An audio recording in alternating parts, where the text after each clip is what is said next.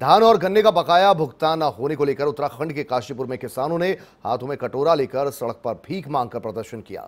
اس دوران کسانوں نے سرکار پر کسانوں کی اندیکی کرنے کا آروپ لگاتے ہوئے جم کر نعرے بازی کی۔ ساتھ ہی مانگے نہیں مانے جانے پر سرکار کو اگر آندولن کی چیتاونی بھی دی۔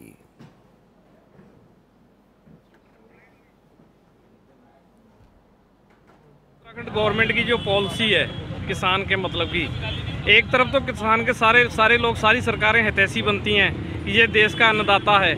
جب دیش کا انداتا جو ہوگا، وہی ختم ہونے جا رہا ہے، تو عام پبلک اس میں بچے گی کہاں؟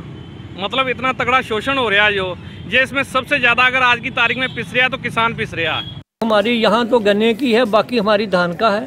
مسئلہ پیمنٹ ہی ملا ابھی تک۔ گنے کی پیمنٹ دھان کی پیمنٹ ہمارے پردھان منتری جی کہہ رہے تھے، کسانوں کی آ رہی دگنی ہو جائے گی۔ ہمیں اندر لگ رہا کہ آدھی بھی نہیں، ہماری رہا کہ پچھلے سال کا پیمنٹ نہیں ابھی گنے کا ملا۔ اس سال کی ہمیں کوئی امید نہیں ہے۔ کسان گنے سے دور چلے جا رہے ہیں۔